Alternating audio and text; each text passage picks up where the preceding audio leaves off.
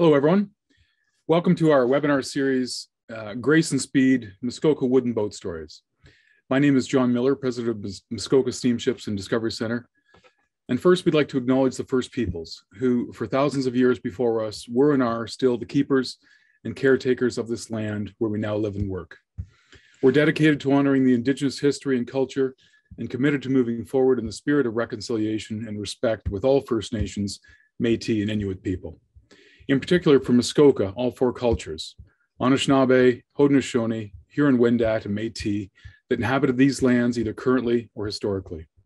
We recognize all the generations of Indigenous people and their historic connection to this place, and we're grateful for the opportunity to gather here at this time.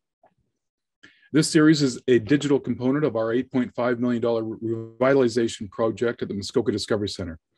The physical transformation of our building is almost complete with three dynamic exhibits being created that are growing and evolving with inspired content.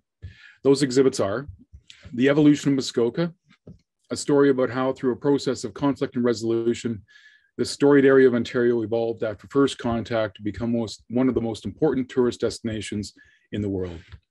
Miskowaki, Confluence of Cultures, this is a presentation about four Indigenous cultures with a presence in Muskoka for thousands of years, all of which have teachings to share about sustainability and care for our, our environment. And Wanda 3. Wanda is our 108 year old steam yacht presently in the middle of an electrification repowerment. She'll be a working artifact when she's complete and, important, and an important symbol of sustainability. The Muskoka Steamships and Discovery Center, in partnership with Antique and Classic Boat Society, is excited to pre present this series of eight webinars showcasing wooden works of art that, that have made Muskoka home to arguably the best concentration of quality wooden boats in the world. Our volunteer team of Chris Bullen, who captured all the video and still images, Ian Turnbull, Mary Story, Murray Walker, Ed Skinner, and Rick Terry, along with many boat owners, have put in countless hours to produce this series, and we're extremely grateful for their contributions. I'd also like to thank Jordan Waynes and Ann Curley, who are working behind the scenes to make this webinar happen. This entire series, when complete, will be available in our archives, on our website, and as a permanent display within the Muskoka Discovery Center. Following the video presentation, which is approximately 40 minutes long today, we'll have a Q&A with our panelists. Uh, this is an entertaining part of the webinar, so please post questions in our with the Q&A button at the bottom of the screen and we'll read them to our panelists when the video is complete. I'd like to introduce Ian Turnbull to say a few words, and then please enjoy our presentation, and we'll see you at the Q&A afterwards. Ian. Thank you, John. I just had a couple of uh, short comments. First of all, last week, uh, one of the boats we looked at was Aegis 6, a very nice little Ditchburn, a very fast gentleman's racer, as you may recall. And on one slide, I had the length indicated as being shorter than the boat really is, which is the bad thing to do with a wooden boat. The boat, in fact, is 25 feet long. That's point one.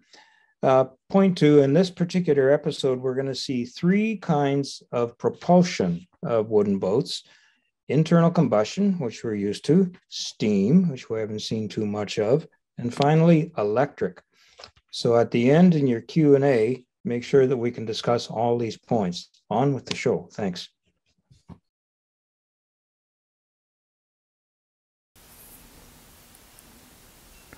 Hello again.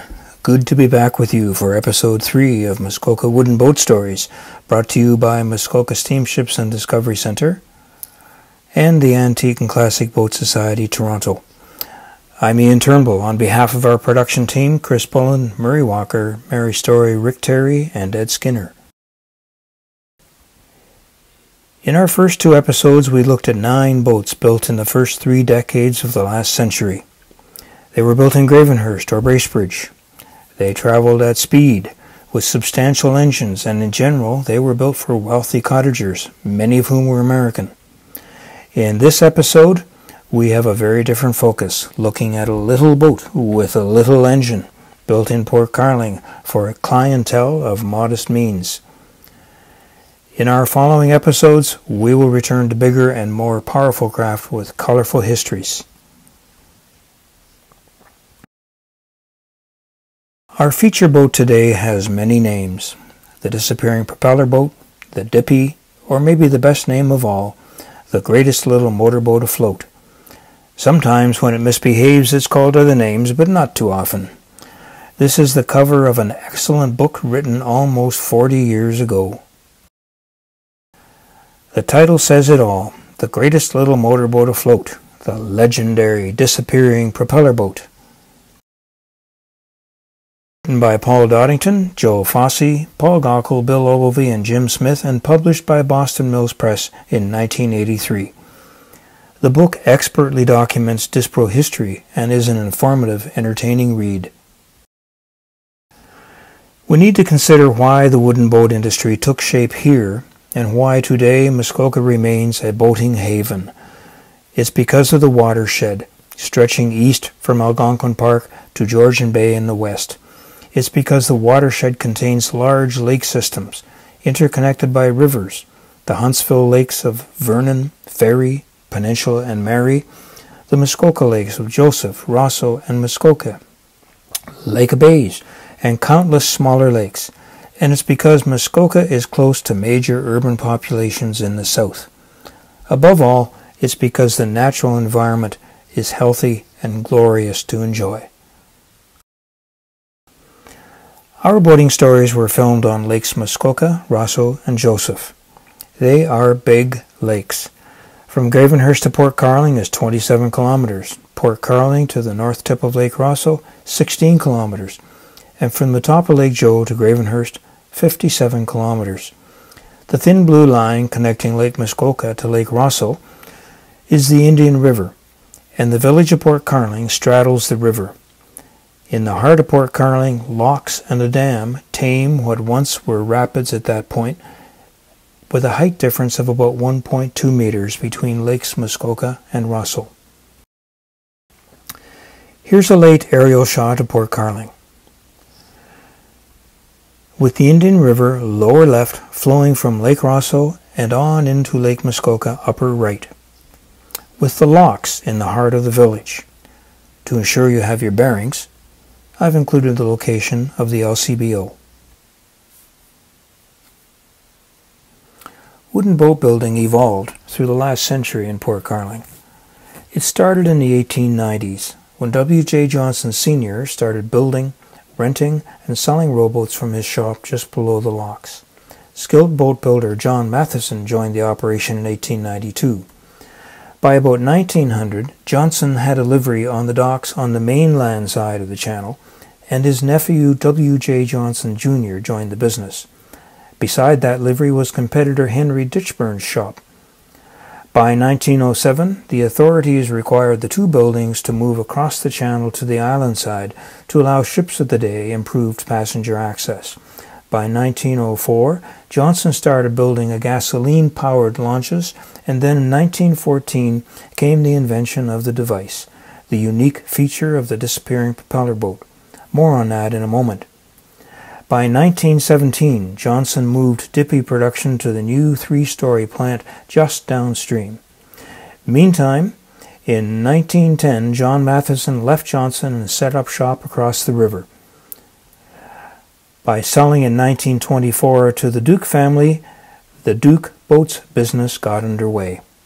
The Dispro Company encountered business problems leading to bankruptcy in 1925.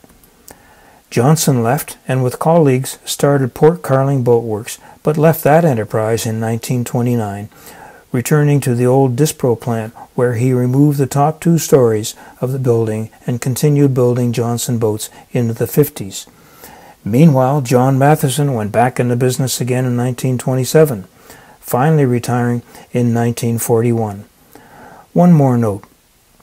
Tom Greavette worked for Ditchburn's livery business in Port Carling in the summer season and the Gravenhurst plant in the winters, and later went on to found Greavette Boats in 1930.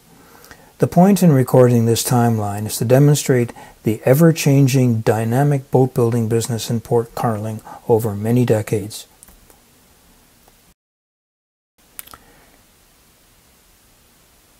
Here are the two liveries on the mainland side. About 1902, when the pavilion had just been built on the left. The pavilion is still there today. And here in 1907 are the two liveries moved over to the island. The banner says Windermere Regatta, Saturday, August 10th, 1907. With the liveries gone, there's more room for ships and passengers on the west side of the channel. Here are passengers in all their finery. This is the Johnson Boat Building Shop about 1914. And here is John Matheson's shop, which he sold to the Dukes in 1924. That's Hannah's store in the background. And here is the three-story Dispro plant built in 1917, with the storage building built about 1920.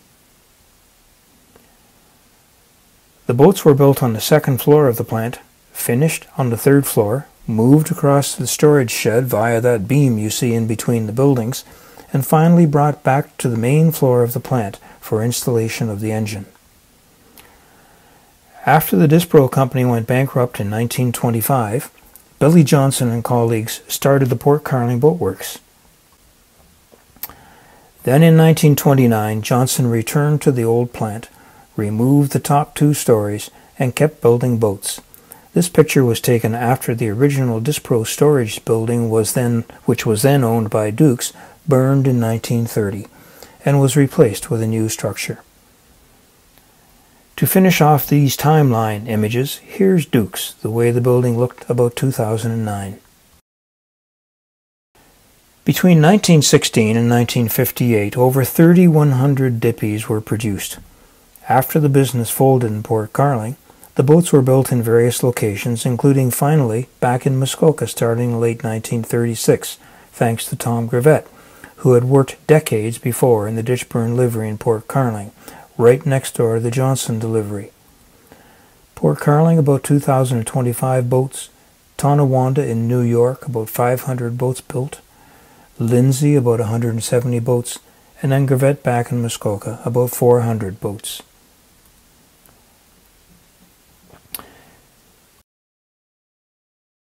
Here is a splendid little boat as advertised. Note the protecting skeg, which pushes the propeller up into the device inside the hull when the boat meets an obstacle, like a log or a sandbar. Here's a closer look.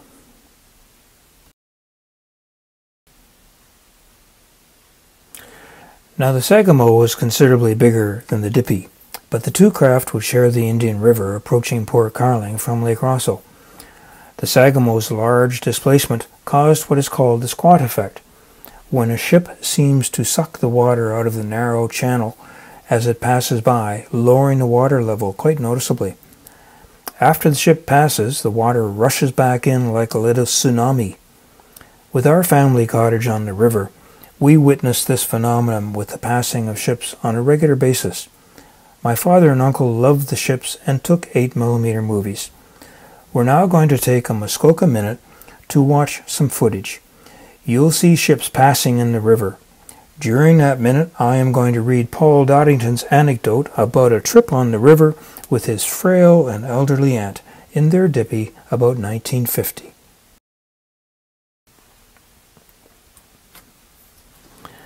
In those days, dippy owners took it as a matter of proper seamanship always to pass on the wrong side of every buoy, and my aunt was no exception.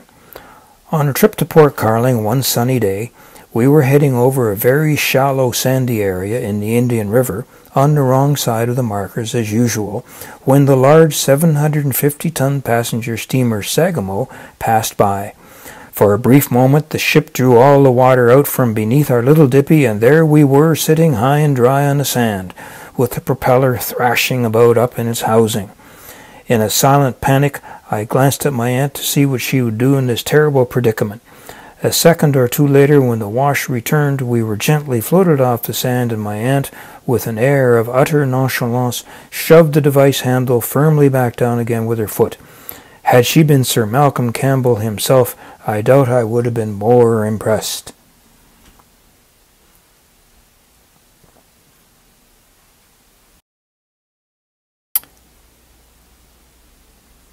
And while we're on steamboats, here is RMS Segwun heading downstream on the Indian River for Port Carling about a decade ago. I love the echo of her whistle, which demonstrates why our Turnbull ancestors named the family cottage Echo.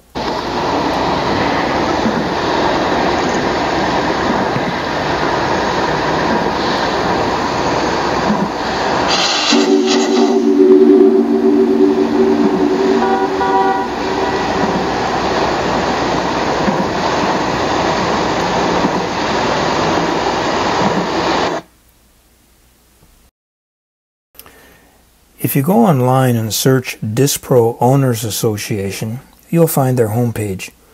Poke around a bit and you'll understand that they are a fun-loving bunch who simply love their boats.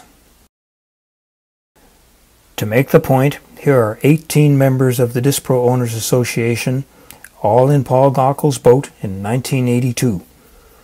Two questions come to mind. Why would they do that? And did they go anywhere? To the second question, yes, they motored across the water to another dock without sinking. As for why, because back in 1920, 18 men got in a dippy and did the same thing, probably as a marketing stunt back then. And besides, in 1982, it was simply great fun. The smile on this woman's face proves that cruising along in a dippy is an absolute delight. On the other hand, this woman needs a little bit of reassuring that everything's going to be okay. Here's the scene at Pinelands Beach on Lake Joseph in 1982 at the Dispro Owners Association annual regatta. And here are fun-loving dippy people flying high on the Big Chute Marine Railway Trent Severn Canal in 1998. Let's enjoy the movie shot by Chris Bullen last summer, with thanks to Paul, Tom, and Carrie.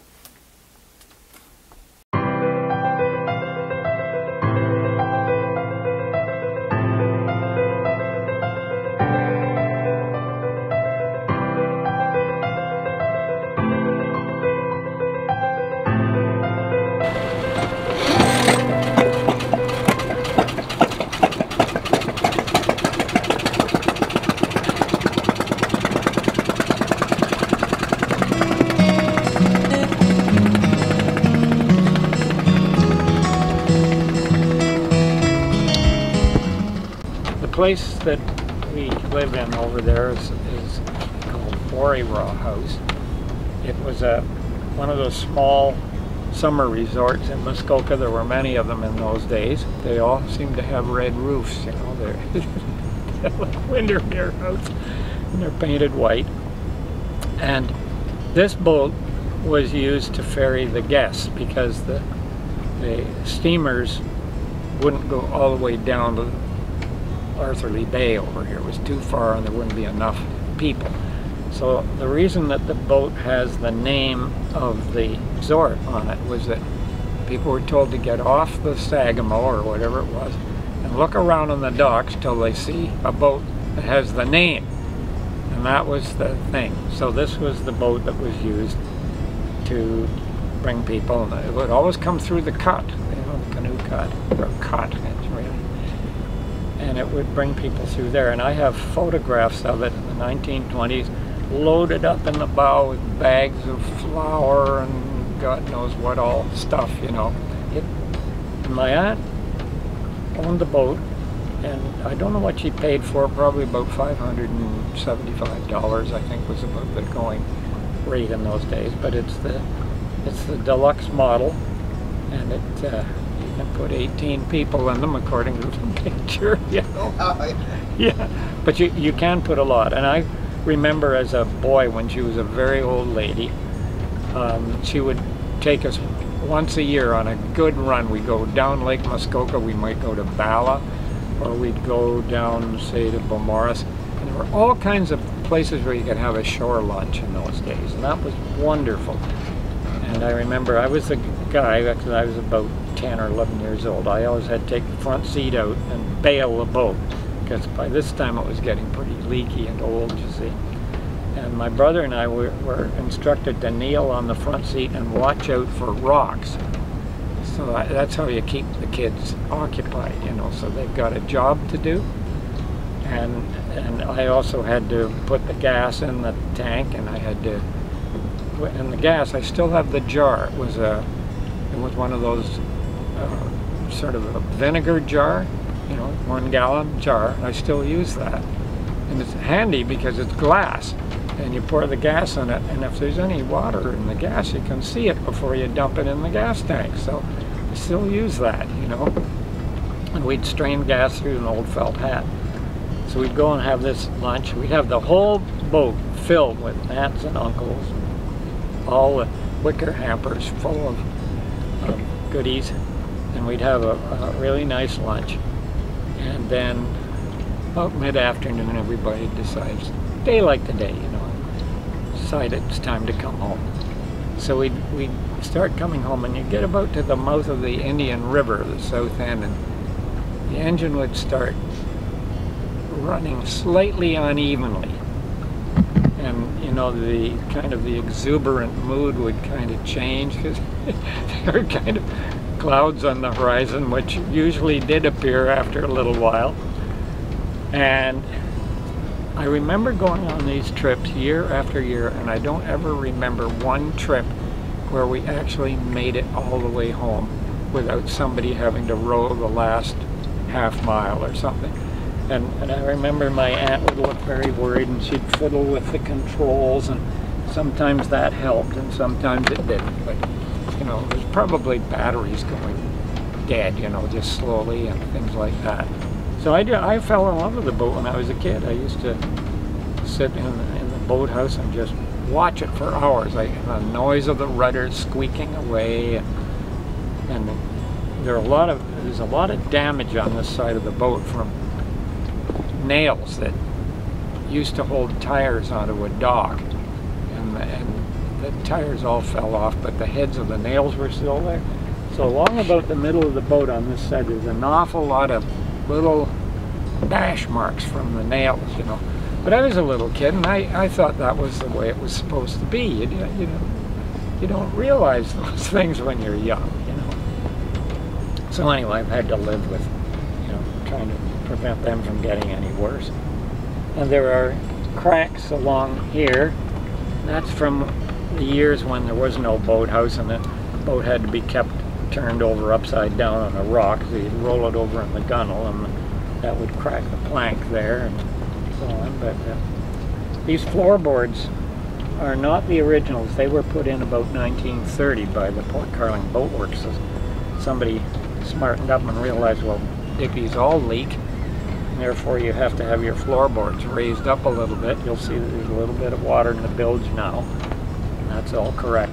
Well, this boat was so bad and so derelict. It was it was gray. I mean, there was no color, no varnish left on it at all. The idea was to tow this boat out after we got Pinafore going, and it's an earlier boat. It's like Bajong and Start. So we put a lot of rocks in this boat, took the engine. Everybody saves the engine, you know, because it's pretty. And we watched it going down. And Nora and I were there in Pinafore, and this thing was getting lower and lower in the water. And I thought, you know, this is my family history. I can't let this happen. So we threw all the rocks out of the boat and towed the thing back to shore. And by that time, it was getting up close to the gunnels. And so that's when I decided I had to restore this because it was the family boat. And it wasn't the same as the other one, and you know, the differences. But one thing that was interesting, Hurricane Hazel hit Muskoka uh, October 15th, 1954. And it, it, there were a lot of winds and so on. It, it tore open the door of the boathouse that this was in, and the boat got away, and it vanished. And my aunt went out the next day and she went all around the shore to try to find everything that had floated out of the boat. So she got the oars and nearly all of the seats, the front seat back still original. The seat bottom is not because there were probably tools in it and it probably, you know, sank or something, but it wasn't in the boat. The boat was at the bottom of Lake Rosseau all winter. Nobody knew where it was. Stan Carr was out canoeing in the spring, paddling along out in front of Gibson's place, which is about, you know, tenth of a mile from our boathouse. And he looks over and there it is. It's down there. It's in 20 feet of water. So they somehow got hooks under the thing and brought it up. And they had to change the, drain the water out of the engine, of course, and get some new coil and new battery and new gas. And away it went. So, but that was probably the reason why all the varnish came off because it spent the entire winter at the bottom of the lake. So, so it's never missed a year on the lakes. It's always been running every year. So that's kind of a fun story.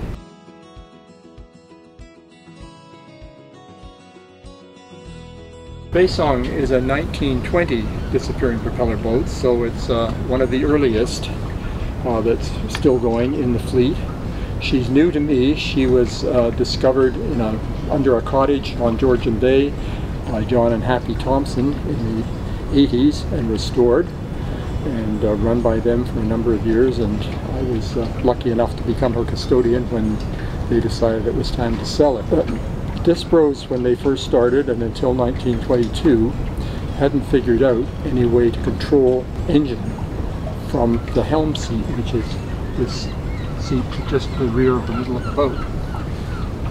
If you wanted to start the engine, if you wanted to stop the engine, slow it down, or adjust the carburetor, you had to lean over this seat or climb into the front compartment in order to do it.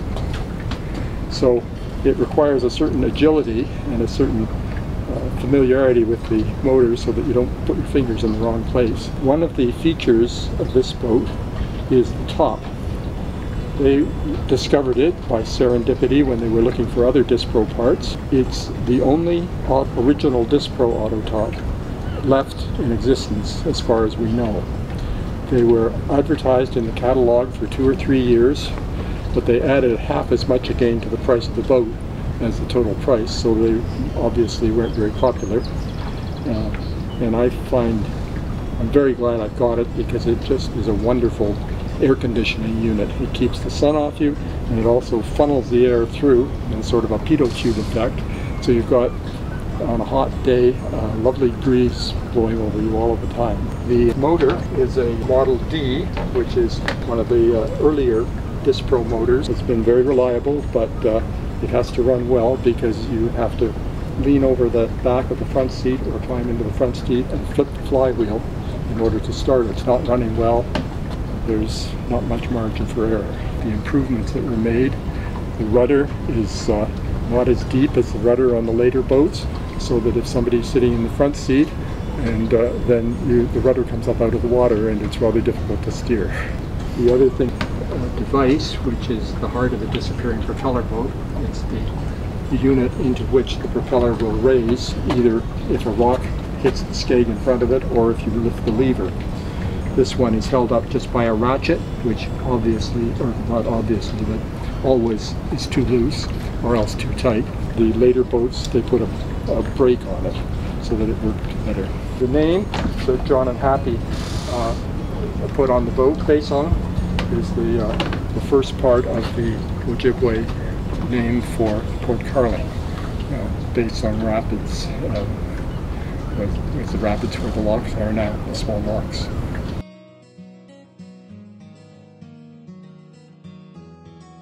Gladys is a 1947 Greavette Dippy after the original company went bankrupt in 1926 the patents and the patterns were bought by someone in Lindsay who built a few boats and then Greavette uh, purchased the patterns and built the boats until about the mid-50s. So as I said, this is a 1947 model built by Greavette. It was found by Doug Brown about 1984, stored by him, and has been a member of the uh, Dispro Owners Association since its inception.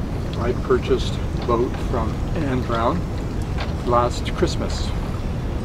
The idea was to see if uh, Dispro would uh, lend itself to repowering from gasoline engines, which are fun but a little bit cranky and hard to operate, to electricity, which is uh, dead simple to operate. Credit for the idea has to be given to Kerry Harmon, who is an engineer by profession and who did a lot of work collecting the information on a number of boats, not exactly dippies, but dippy-like boats that had been electrified and producing the criteria or the appropriate durance for the boat. The idea was that she should be able to keep up with the Dispro fleet, which goes about six or six and a half miles an hour, and she should be able to do that for a minimum of five hours. Using Carrie's numbers, we took out the St. Lawrence engine and put in this package, the motor, the controller, and the drive are all a package produced by the Electric Yacht Company in Minnesota, primarily for sailboats. This motor can be configured to run on uh, 24, 36, or 48 volts and will produce power in accordance with that. We chose the 36 volt arrangement and so the power is in these two batteries. They're each 100 amp hour 36 volt batteries. They're wired in parallel so that gives you the equivalent of a 200 amp hour 36 volt battery. Carrie's numbers said that going at six or six and a half miles an hour we should be able to go for five hours. What we've uh, proven is that we're getting more closer to six or seven hours. And if you're prepared to uh, drop the speed half a mile an hour to five and a half, you can go for eight or nine hours. Installation has been a very successful one. It's smooth, it's quiet. As Paul Doddington said when he came out in it, you can hear the birds singing when it's going. We think that perhaps there's a future, not, all, not for all the dippies, but for those people who find the engines a challenge. This seems like a good solution that will keep the boats going and uh, allow tremendous ease of operation. And you don't get your hands greasy.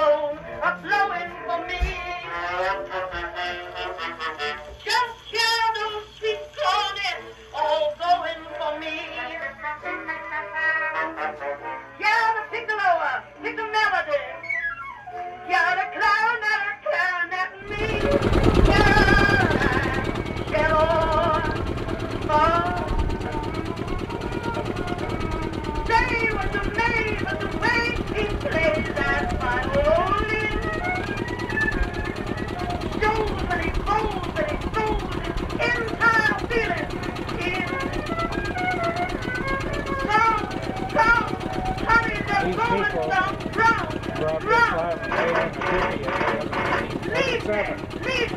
to that beautiful.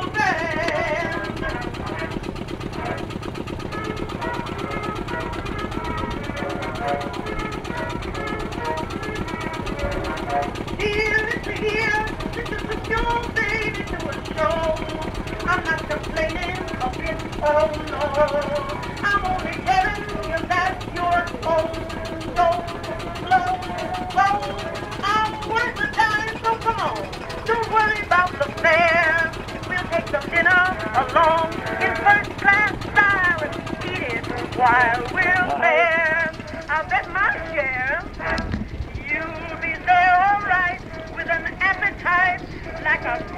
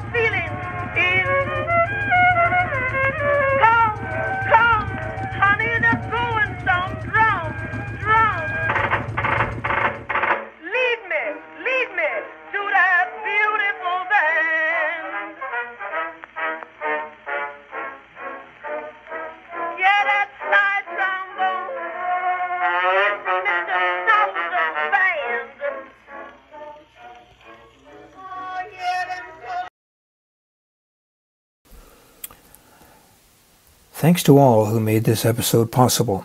A special salute to Dispro owners everywhere for the stewardship of their craft. Join us next week in episode 4 as we visit three more boats demonstrating grace and speed 2, Dix, and Curlew. Igloo 2, 1927, 36 feet.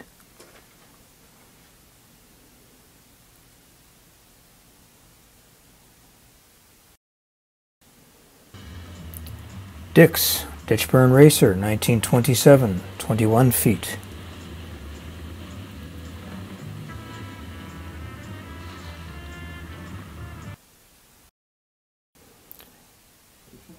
And Curlew, 1936 Greavette, 33 feet, streamliner.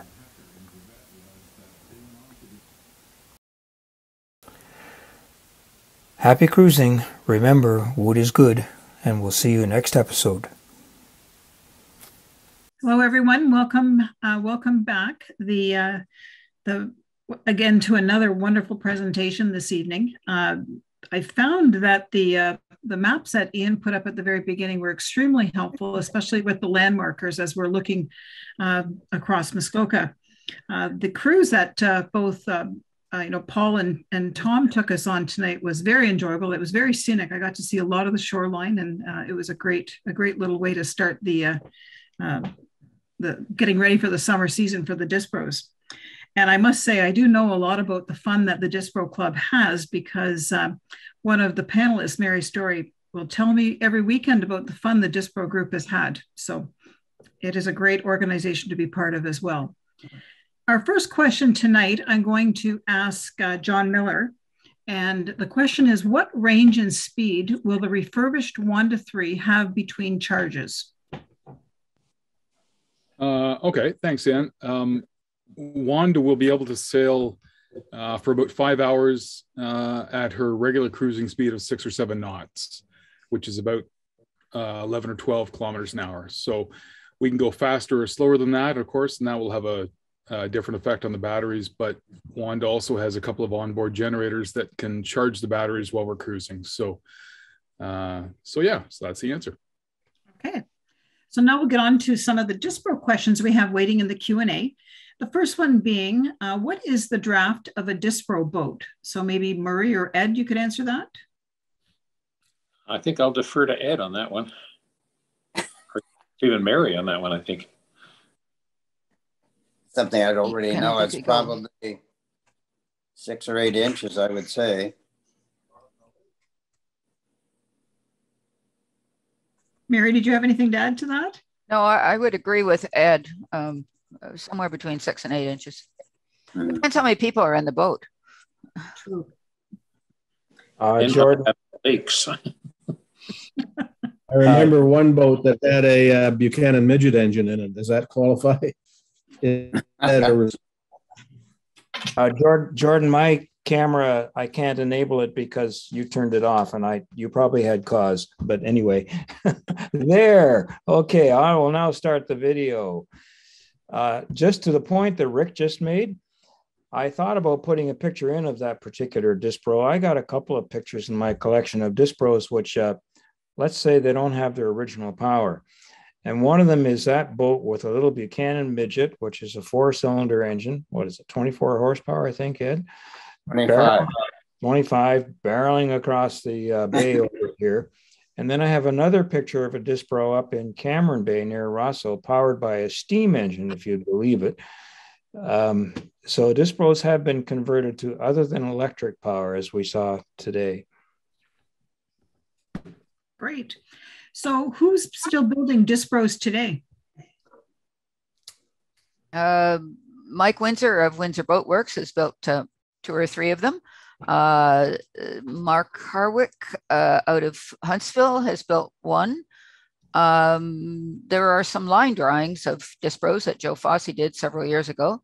So uh, some people are building a one of, uh, but I think Windsor Boat Works has built uh, two or three. Okay. The next question is, um, can a future episode talk more about uh, the boat and engine restoration? About boat and engine res restoration? Uh, yes, I would think that what that's what the question's really getting at is who's who's doing the restoration these days, uh, uh, both of the hulls and the engines, and we have very skilled people throughout Muskoka doing that, and that is a very good subject. If anybody is concerned at all about not being able to have their boat um, brought up to snuff in terms of its original condition and or its original engine, fear not. There are very skilled people out there. We we will address that in a future episode. Great, thank you. It just wasn't part of our uh, mandate this year. That's right. Okay. So the next question is, how is the Dispro steered?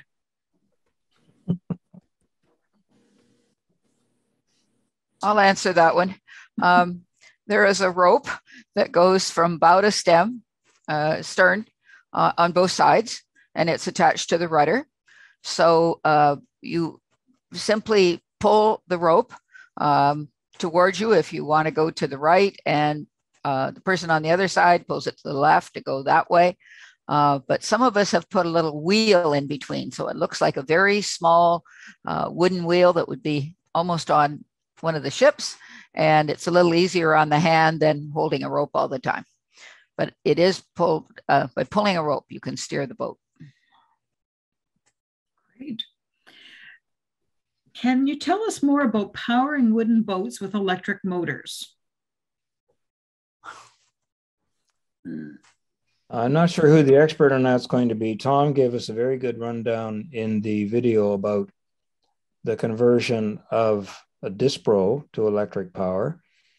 We know that Stan Hunter has converted some Duke Playmates to electric power. Stan has a shop in Milford Bay. Uh, we know the Wanda is being converted to electric power.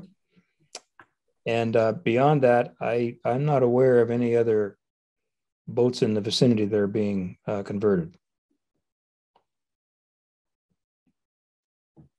Okay. Uh, the, the big one boat on Lake of Bays has been converted, Good point. but it kept its steam engine installed so you can look at it. Oh, Really? Then in the US, of course, the, the Elco, they build uh, electric boats. And That's sell a variety of electric engines.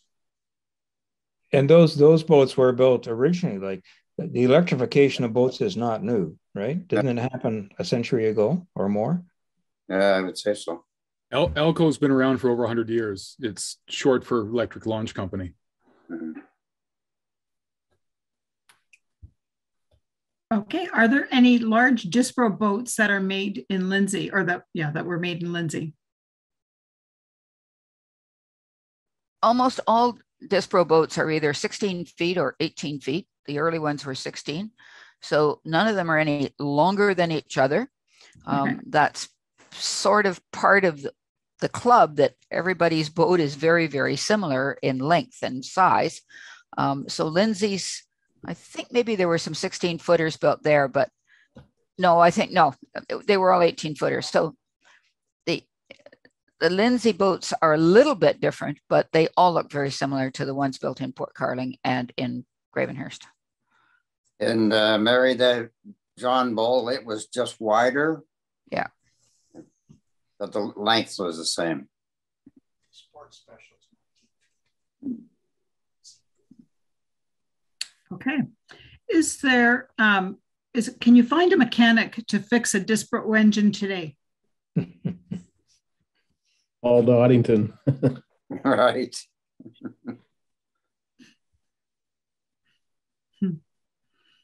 Okay.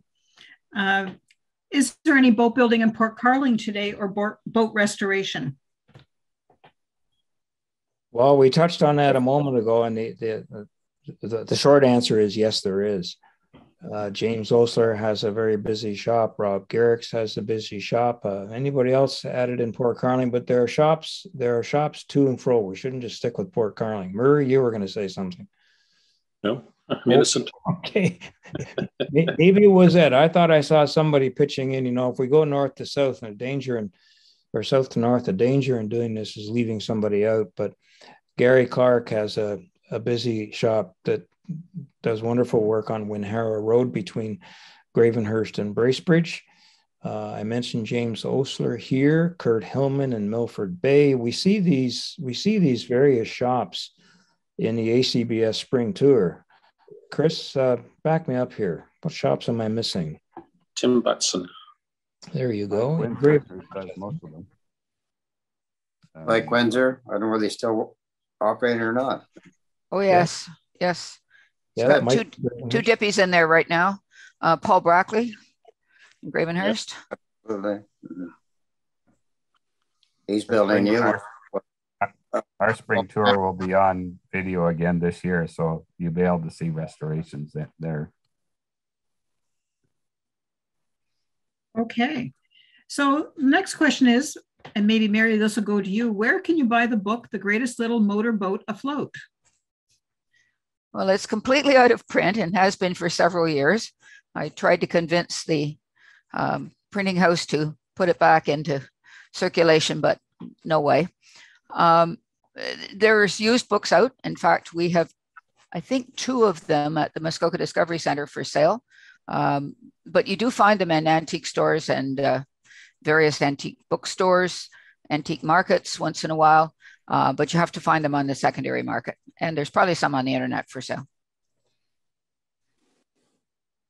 Okay, so the ships seem to be going fast in the old films. Did they really go that fast? yes, they did. The, the, the film has not been speeded up. Um, in fact, I get a kick out of looking at some of the films because I think the uh, captains today are what's the right words to use, John? They're they're reasonably uh, careful, and, and when you see, I've there's a film we could we could find on the internet. It's a marketing film for the province of Ontario, shot in the late twenties, and in fact, I I could put up a little bit of a clip in the in a future episode. It's really sort of fun. The Sagamo is coming into the locks from the Lake Rosseau side, and then she leaves the locks, and she goes barreling by at apparent full, well, it wouldn't be quite full steam because she just left the locks, and there was a ship meantime docked in front of Duke's. there's there's no hesitation; it's just barreling off. And if you remember, if you remember in the video we just saw today of the Sagamo she was leaving the locks and making a very hard turn to to uh, to port. Uh, you, you may recall that with streamers um, tailing off her stern.